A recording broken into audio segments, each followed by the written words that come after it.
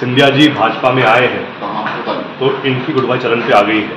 हाँ, पहले तो गोपाल भार्गव जी वरिष्ठ भाजपा में आते थे लेकिन अब चर्चा ये है कि सागर ज़िले में तीन गुट के मंत्री हैं शिवराज भाजपा के भूपेंद्र सिंह महाराज भाजपा के गोविंद सिंह और नाराज़ भाजपा के। क्या दिशा हो गई है भाजपा में, वो हम सब जानते हैं। झगड़े हो रहे हैं कैबिनेट में। कांग्रेस की सरकार गिराकर भाजपा में गए हुए ज्योतिरादित्य सिंधिया को भले ही दो साल का समय हो गया हो, लेकिन कांग्रेस अभी भी उनको भुला नहीं पा रही है।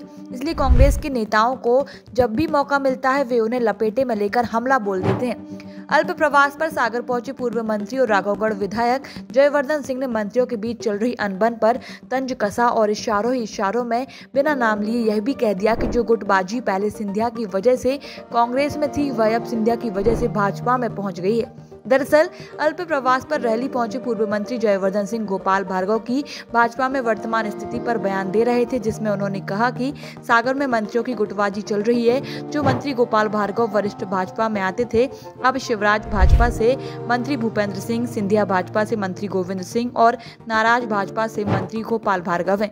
अब उनकी क्या दशा हो गई है? कैबिनेट में झगड़े हो रहे हैं कि इनकी सुनवाई हो रही है, उनकी सुनवाई नहीं हो रही है।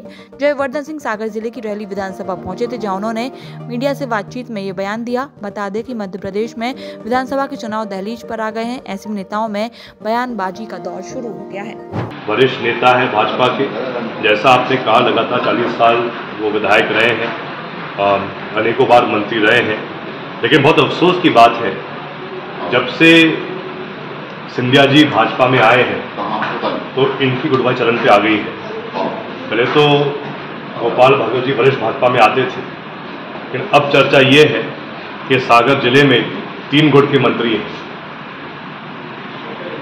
शिवराज भाजपा के भूपेंद्र सिंह महाराज भाजपा के गोविंद सिंह और नाराज़ भाजपा के गोपाल भार्गव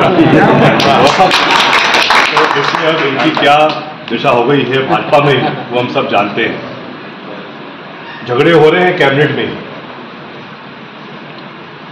किसकी सुनवाई हो रही है, किसकी नहीं सुनवाई हो रही है। तो कहीं ना कहीं आज के समय भाजपा में सब कुछ ठीक नहीं है। जो पहले गुटबाजी का प्रकोप कहीं और था, आज वही प्रकोप पूरा